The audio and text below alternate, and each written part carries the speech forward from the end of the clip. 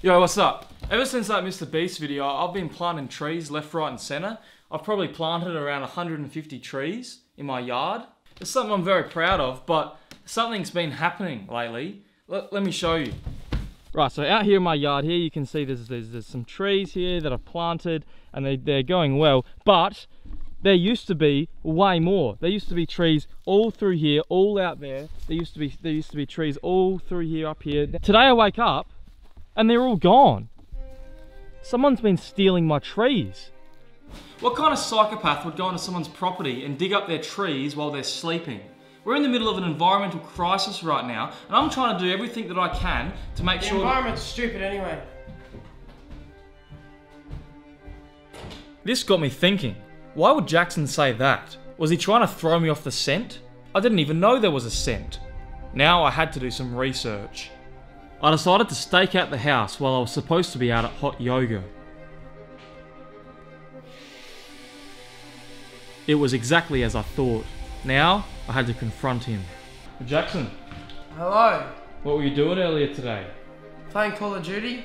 Really? Yep. I think you've been stealing my trees. I've not been stealing your trees. The conspiracy was getting deeper. I decided that Jackson needed to be trailed. I stayed home from yoga again and staked out by his car. Jackson put something in the boot, but I couldn't see what. I decided to hide it in his car and see where he goes.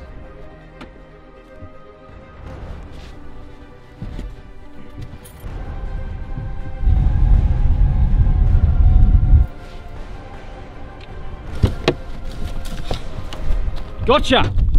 You tree thief. You don't know what you're talking about. I know exactly what I'm talking about. This is the secret location you've been coming to to dump the trees that you've been stealing from me. Lachlan, What? I've been planting thousands of trees. It was supposed to be a surprise for your birthday. What? Look for yourself. That was all me. You weren't supposed to find out till later this month.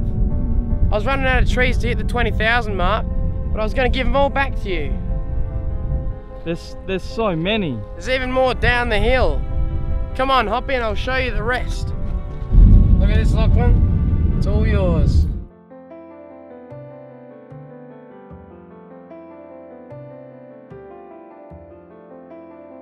This is the most beautiful thing I've ever seen. That's Josh.